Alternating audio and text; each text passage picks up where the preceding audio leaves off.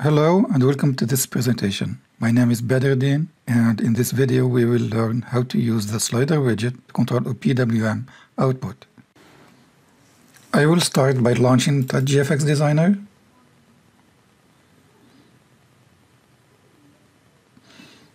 Give a name to my application STM32H7B PWM and slider. For the application template, I will use the STM32H7B template for the discovery board. I will go with a blank UI and now I can click on create. Now the application template gets downloaded. Here I have my canvas. I will start by placing uh, background image in the canvas. Um, pick an image widget and then from image here I will select background image from my hard drive. Next I'll place a text widget here and in the text area here I will type in STM32 graphics and the title of today's video how to use the slider widget to control a PWM output. Place it to the center here and then I will change the color uh, to something like this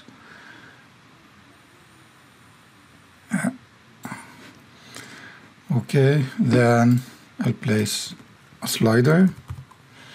Slider widget. Click on slider and then close this one.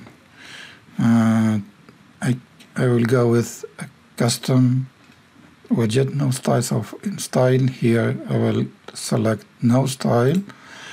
And then for the background image I will select a background image from my hard drive. And um, place it down here. And for the background filled image place another PNG file here. And then for the indicator I'll place this knob image. I'll place it down here and center it then for the background position for the X I'll place set at 14 for the Y 14 and then here for the max value I'll, I'll type in 999 that's the the maximum value we'll use later with the timer. And the start value I'll start from a duty cycle of 50% meaning 5, 500 here. And then I will go to interactions. I'll add an interaction here. And the trigger source is whenever this the slider value changed. And then from the slider I have only one slider. And then for the action I'll call new virtual function. And for the name of the function is set duty cycle. Okay then I will click on generate code. Here the code is getting generated. And here I have the log of the of the build next I will browse to the touchgfx files by clicking on browse code down here I have my touchgfx files here I'll go up by one level here and I will double click on STM32H7B IOC file.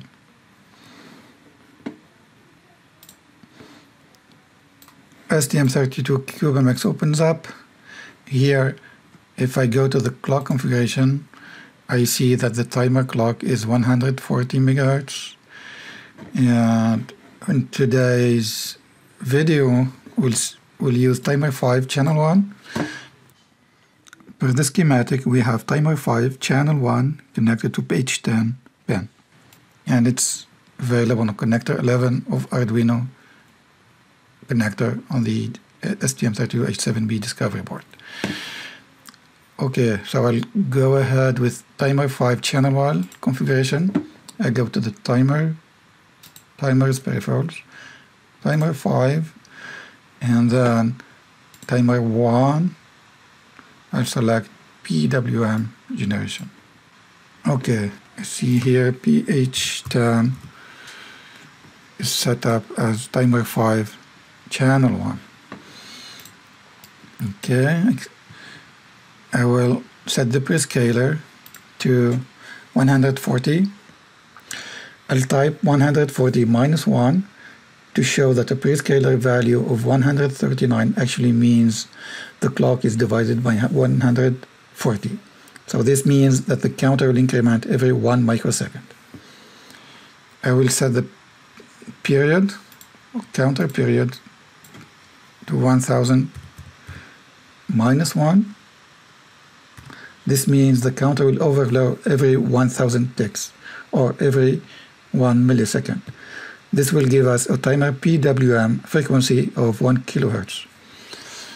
I will set the, the pulse value to 500 to start with initial duty cycle of 50%. Now I'm ready to generate the code and I'll open the project.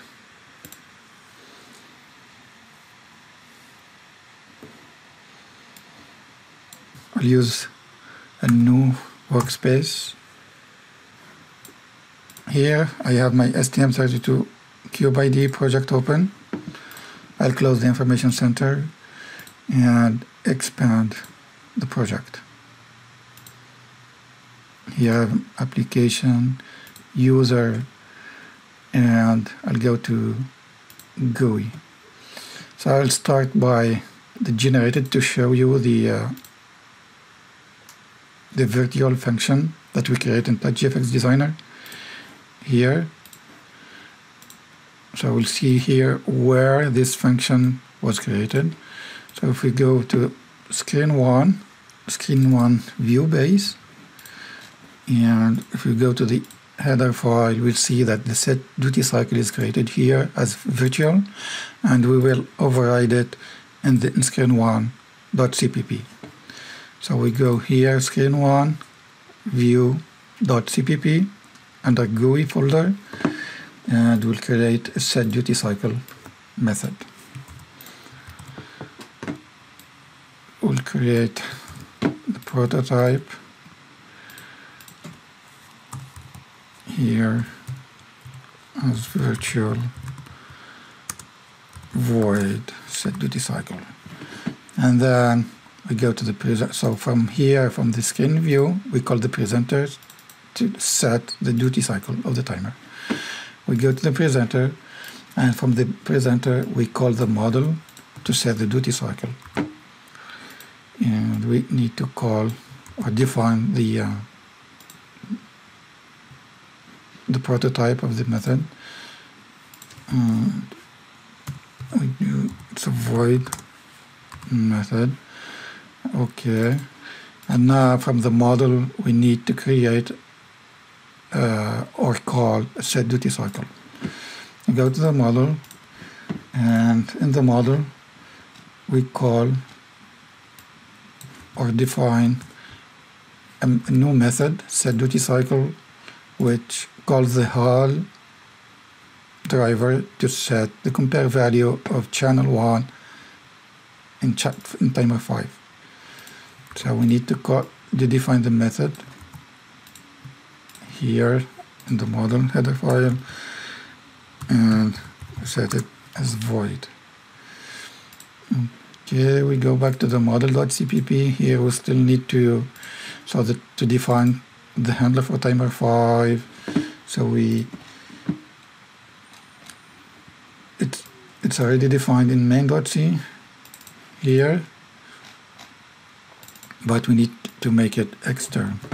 So we go back to the model and we do extern handler of timer 5 we need to call or include stm32 h7 hal.h and then we need to start the timer we go to main.c here and then in the timer init function.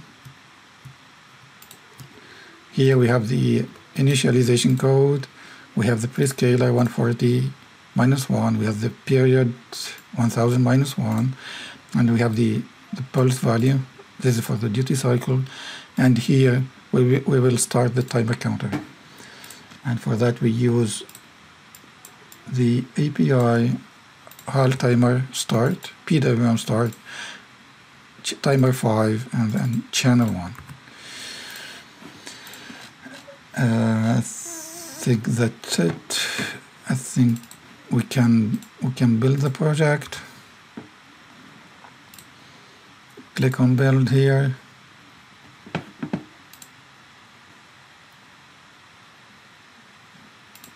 Build finished successfully. Now I'm ready to download the code. I'll click on debug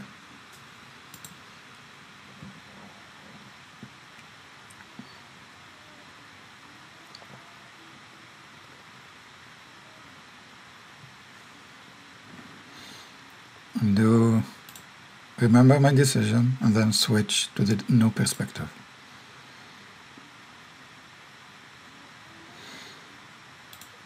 Okay, download verified successfully. Now I'm ready to start the, the execution. I click on resume or F8. Okay, now I will start my Saleae trace analyzer so I already have my Saleae connected to the timer. I have my Saleae connected to timer 5 channel 1 G6 pin. And then I'll start the capture.